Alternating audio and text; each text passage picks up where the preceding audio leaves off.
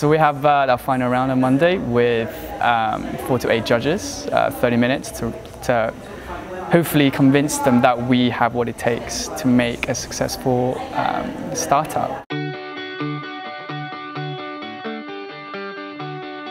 I've got that sort of excited, nervous, frenetic energy. There were the pre-pitch jitters, yeah, definitely. It's a bit intimidating, you know, when you first walk through the door, but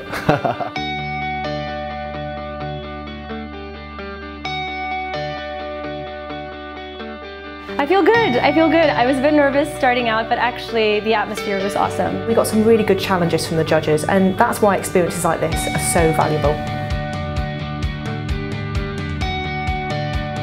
I think that MassChallenge, um, if we hopefully get through, will be incredibly helpful for us. I'm just excited to start, to be honest. I'm, I'm determined to get on. Hopefully you'll see us again.